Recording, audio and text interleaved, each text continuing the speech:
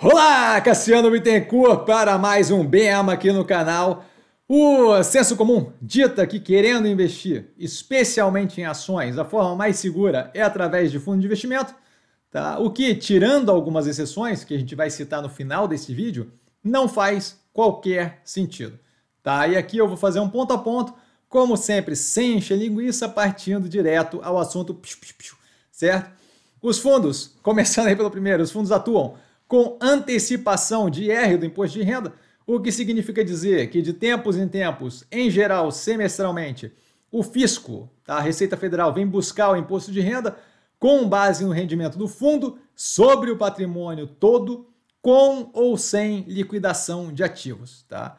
O que não acontece quando a gente investe por conta própria, certo? Quando em ações, por exemplo, o imposto de renda só é recolhido quando a gente vende a ação tá? E mesmo assim, se tiver lucro, e mesmo assim, quando esse lucro, essa venda como um todo, atinge um valor maior do que 20 mil reais num mês, no período de um mês.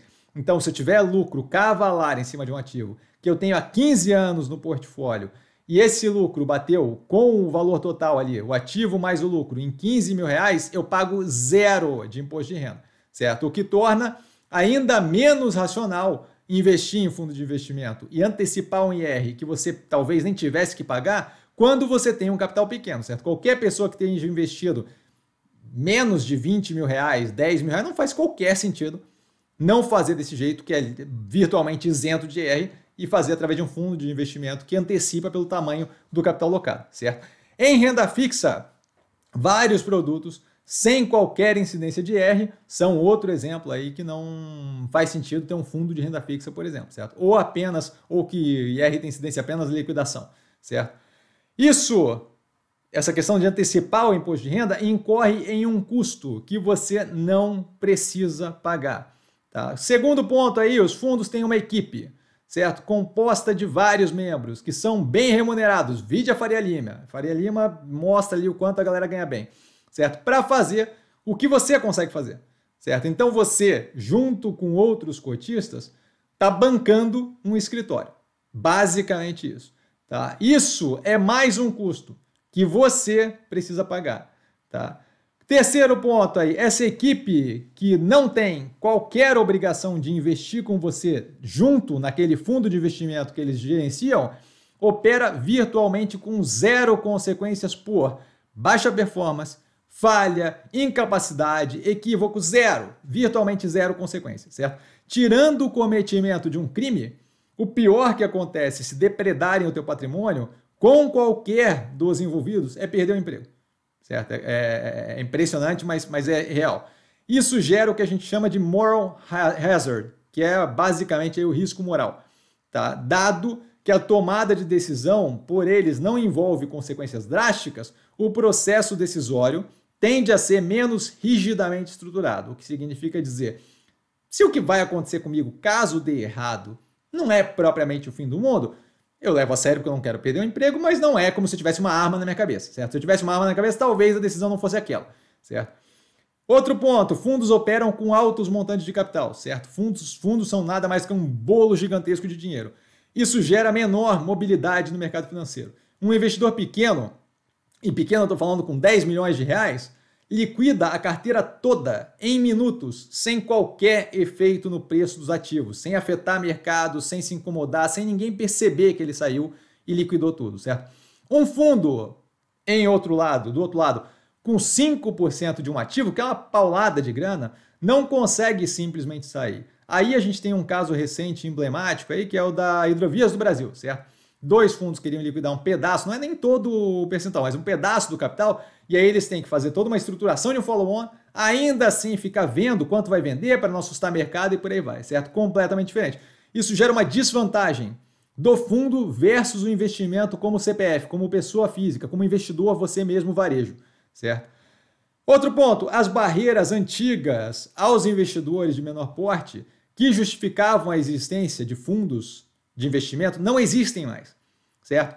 A gente tem hoje em dia informação disponível em quantidade e qualidade ótima e gratuita, tá? Publicações, jornais, podcast em quantidade ridiculamente absurda, incluindo aqui o canal todo gratuito como exemplo, tá? A gente tem ajuda direta e gratuita, eu estou falando diretamente do canal, qualquer um me acessa a qualquer momento e tem é, dúvida retirada e por aí vai. A gente tem corretagem zero para quem quiser, tá? Tem várias corretoras aí com corretagem zero ou muito baixa, se você tiver algum tipo de preferência por uma ou outra corretora, ainda assim você chega em níveis muito baixos de corretagem, certo?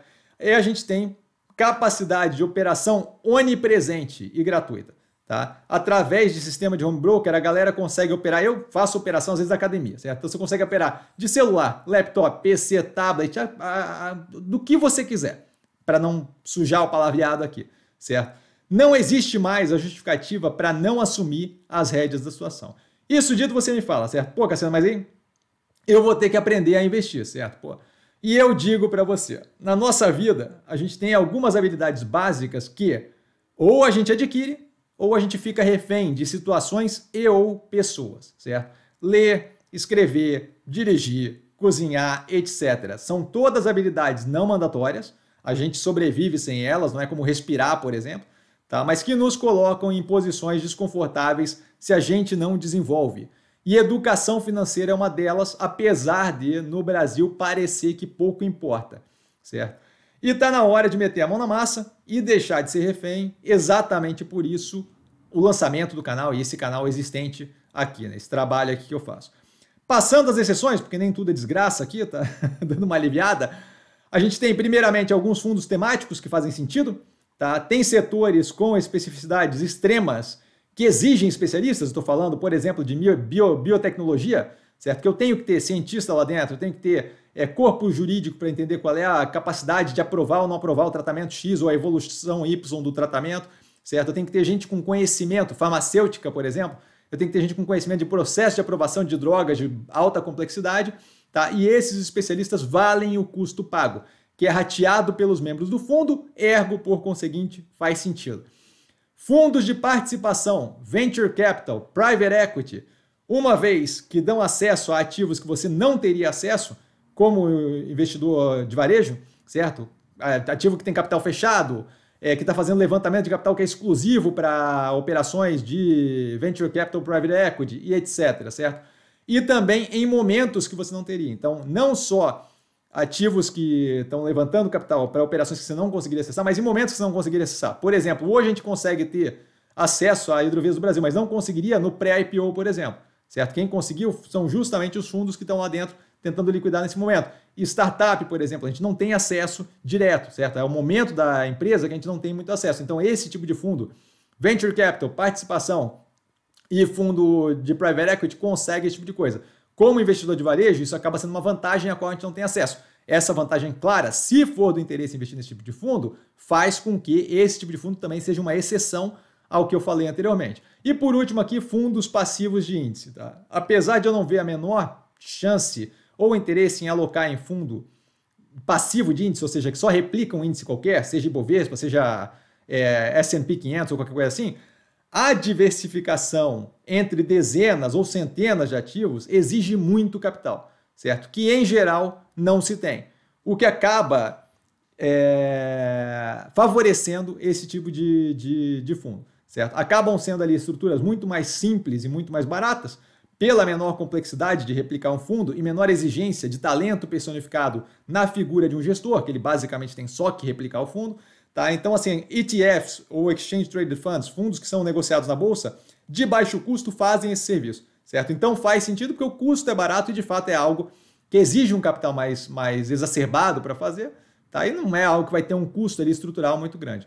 Fechando isso, dúvida? Dúvida eu dou sempre no Instagram, arroba investir com sim. Só ir lá falar comigo, eu não trago a pessoa amada, mas estou sempre lá tirando dúvida. Vale lembrar que quem aprende a pensar bolsa opera com mero detalhe. Um grande beijo a todo mundo. E nos vemos amanhã para o vídeo que eu não vou comentar, que é o vídeo. Vamos ver, vamos ver se vocês gostam. Valeu, galera. Beijão!